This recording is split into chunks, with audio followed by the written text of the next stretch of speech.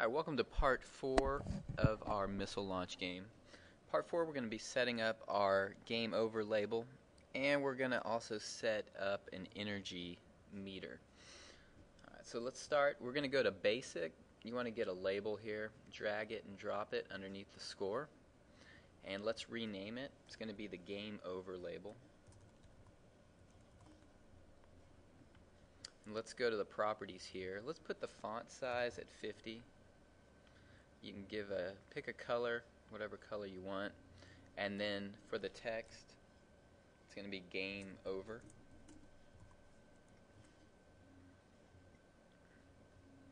And we're going to uncheck the visibility on it.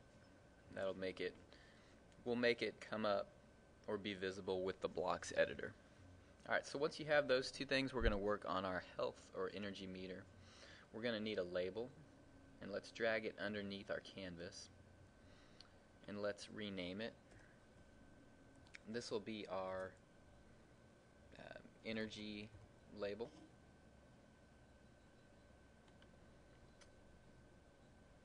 And we're also going to need another canvas. So underneath so this will be our energy level canvas and for this, we're going to change the width to fill parent and our height to 5 pixels. And let's do this. Let's select that energy label.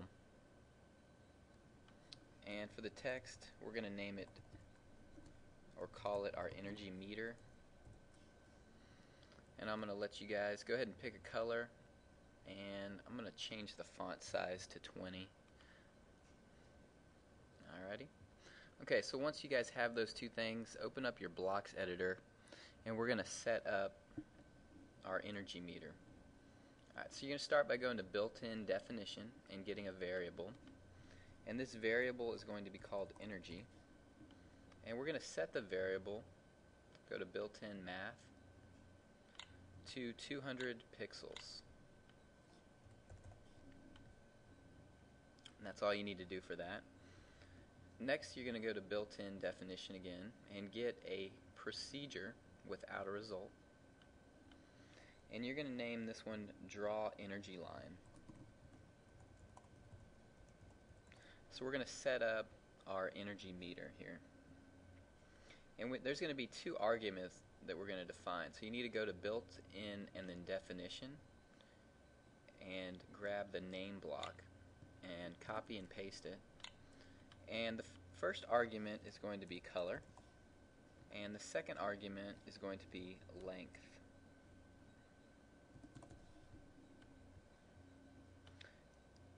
Alright, so we want to draw an energy line with the color and the length.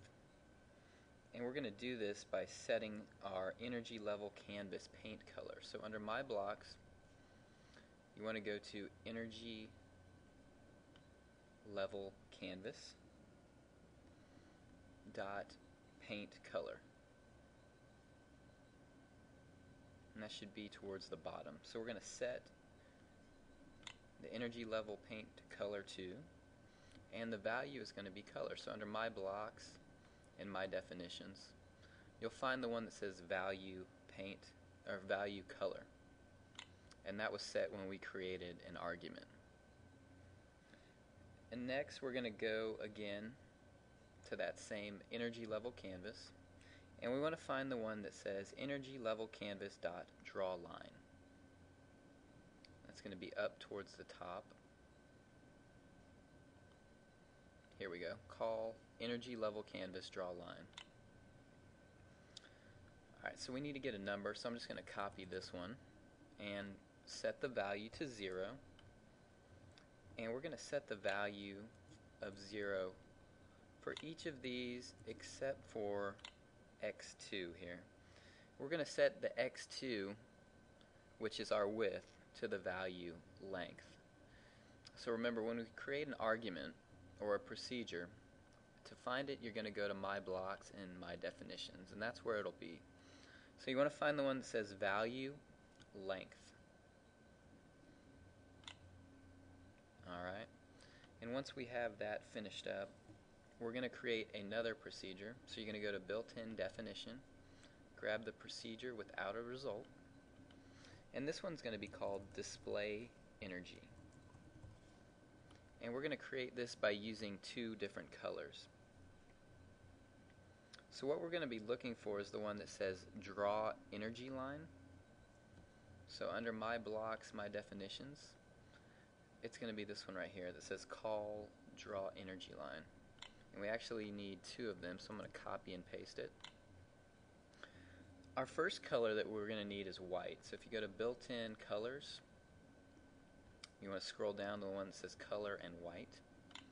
And for the length, we're going to set it to the energy level canvas um, dot width. So under my blocks, go to energy level canvas, scroll down to the bottom, and select the one that says energy level canvas dot width. And then for our second one here, we're going to set the color to red. So under built-in colors, we're going to select red. And then the length will be um, for the global val value for energy. So under my definitions, the one that says global and then energy.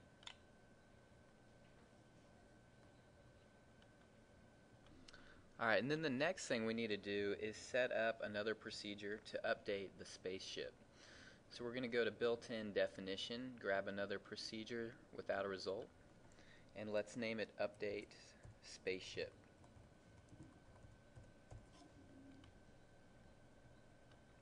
Alright, so what we want this uh, procedure to do is update the energy. So we're going to go to my blocks, my definitions, and get the one that says set global energy to.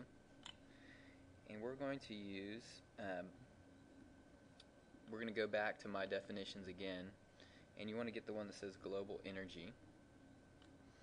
And we're going to go to built-in and math and get subtraction.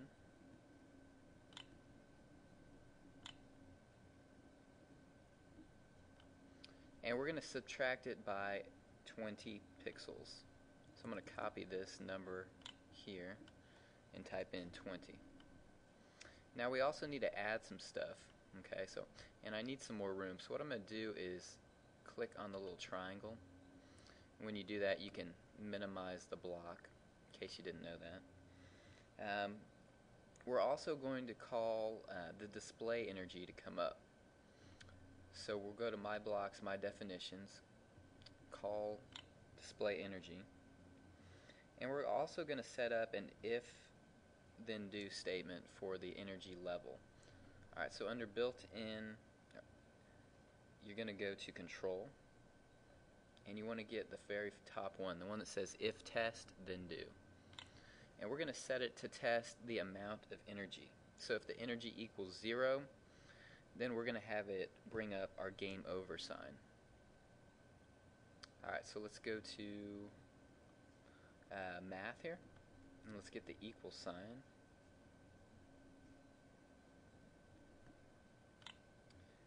And let's go ahead and we can copy this here. And we can copy this one as well. And we want to set it to 0 here. Alright, so if the energy is equal to 0, then we want our screen, um, our game over screen to come up. So what we need to do is set up another procedure. So built-in definition, procedure without a result. We're going to call this one game over. And we've got to set some stuff up on it. Alright, so we want to set the game over the game over label to visible. Alright, so under game over label, you want to find the one that says set game over label dot visible. And we're going to make that true. So we can go ahead, let's copy this one, Control C, Control V. We want to set the energy level canvas to visible. We want that to be false. So energy level canvas. So we can copy the false one here. That'll make the uh, energy level canvas go away. Alright, so we have those two things. Now we can set it up in here. So under my blocks, my definitions, you're going to get the one that says call game over. So when the energy gets to zero, the game over procedure will happen. That will bring up the game over label and the canvas will no longer be, the game canvas will no longer be visible. Um, we also want um, this game canvas right here. That's what I was talking about. That's the energy level canvas which we want to go away to. Alright, so both the energy level and the, the game canvas will be um, invisible when the game is over. So let's go ahead, I'm going to pause the video, bring up the emulator, and then we'll try this out. One last thing that I need to do, we need to do, is when the asteroid collides with the spaceship, we need it to update the spaceship. So you need to go to My Blocks, My Definitions, um, and go ahead and grab that block. It'll be the one that says um, uh, call update spaceship. So it'll be down at the bottom. You'll get this procedure and put it up there. Alright, so I'm going to go ahead and restart the emulator and then we'll check this out and see if it works. Alright, so now you can see once we've put that in that your energy meter is showing up. Okay, I'm going to let the asteroid hit me. When the asteroid hits the spaceship, you can see the energy meter going down. And I can move around, I can fire, I can hit the target, and my score goes up. And basically, I'm going to let it kill me here. So the energy meter is set up to 200 pixels. Each time it touches it, it goes down 20 pixels. So about every, so 10 hits, and then you'll have your game over.